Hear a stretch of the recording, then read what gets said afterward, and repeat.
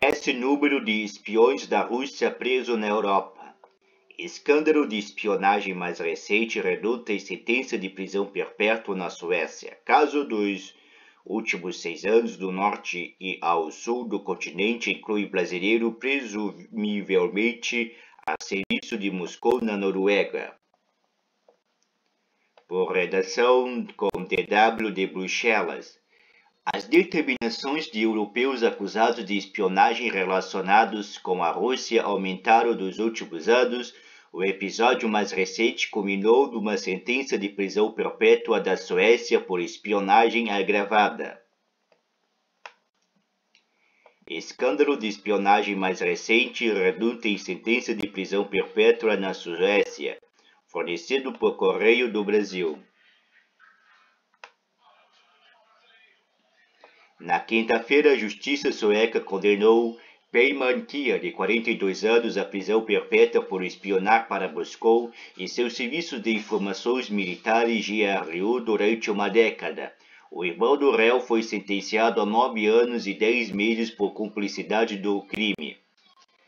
Os irmãos, de forma conjunta e concertada, sem autorização, com o objetivo de servir a Rússia e o GRU, adquiriram, transmitiram e divulgaram informações cuja divulgação a uma potência estrangeira pode afetar a segurança da Suécia, justificou o tribunal. O ex-agente de informação sueco Kia recolheu informações sigilosas que o irmão mais novo entregou ao GRU entre 2011 e 2021. Durante esse período, o principal condenado civil às Forças de Segurança Sueca, SAPO, bem como o Serviço Secreto Militar. O escândalo de espionagem foi descrito como o maior da história recente do país e um sinal de infiltração da espionagem russa no coração dos serviços secretos da Suécia. Espionagem para além de todas as fronteiras nacionais. Uma lista dos casos de espionagem comprovado ou de suspeita tornados públicos na Europa nos últimos seis anos atravessa todo o continente. Em janeiro de 2022, a Alemanha prendeu o acusado formalmente um cidadão russo de passar para a inteligência russa informações sobre o foguete de lançamento espacial Ariane da Agência Espacial Europeia ESA. Ele trabalha como assistente de pesquisa numa universidade da Baviera até junho de 2021, quando foi detido. Um funcionário do Serviço de Informação de Segurança, SIS, de Portugal foi condenado em fevereiro de 2018 a sete anos e quatro meses de prisão por espionagem para a Rússia. Frederico Carvalhão Gil tinha sido detido no ano anterior em Roma, na companhia de um funcionário dos serviços secretos russos, Sergei Podzdniakov, a quem teria vendido documentos confidenciais sobre a segurança da União Europeia e da OTAN. Na Itália, um, um, oficial da Marinha que foi detido em março de 2021 por atos de espionagem junto com um oficial russo a quem entregava documentos secretos. No mesmo ano, em 19 de março, a Bulgária anunciou um caso sem precedentes em sua história recente com a prisão de seis suspeitos de espionagem para Moscou, incluindo vários elementos do Ministério da Defesa.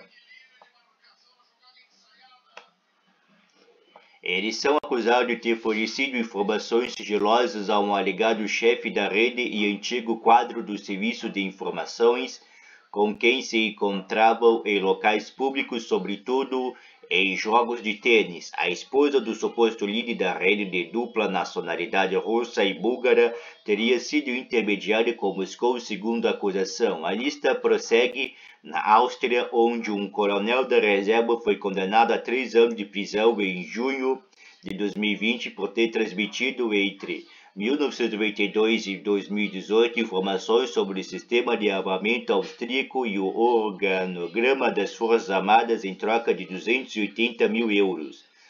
A contra-espionagem da Polônia prendeu, por sua vez, em maio de 2018, um funcionário do governo que acabou por ser condenado a três anos de prisão por ter fornecido à Rússia informações sobre posição do seu país em relação ao gasoduto Nord Stream 2 ligando a Rússia à Alemanha.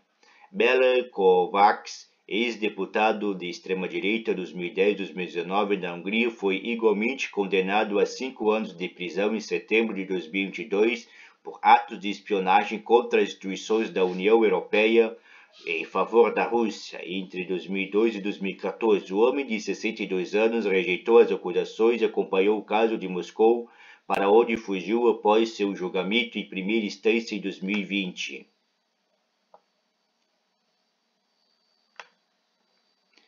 Outro ex-deputado de este da Moldávia foi preso em março de 2017 acusado de ter sido recrutado pela Polícia Secreta Militar Russa e de ter fornecido em 2016 e 2017 informações que poderiam ser usadas contra os interesses da Moldávia.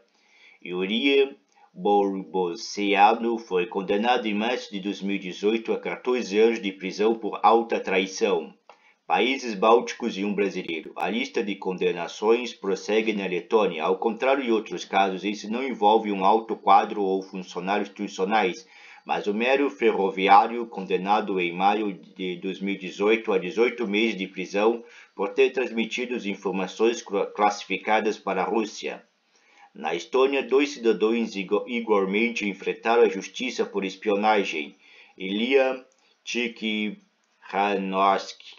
profissional de tecnologia de informação foi condenado a quatro anos de prisão em abril de 2018 por passar informações de segurança nacional para os serviços militares russos.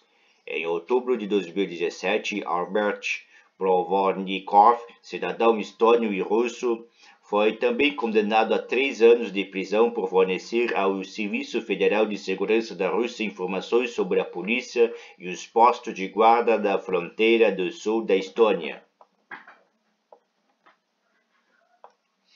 Em fins de outubro de 2022, na cidade de Tromsø, do norte da Noruega, a Agência de Segurança Doméstica deteve por suspeita de espionagem para a Rússia um homem que entrara no país de se dizendo pesquisador e cidadão brasileiro. Sem ter cidadania russa nem norueguesa, ele chegou ao país em 2021. Desde então, vinha pesquisando ameaças híbridas em regiões do norte. A fronteira ártica da Rússia com a Noruega, país membro da OTAN, tem 198 quilômetros de extensão.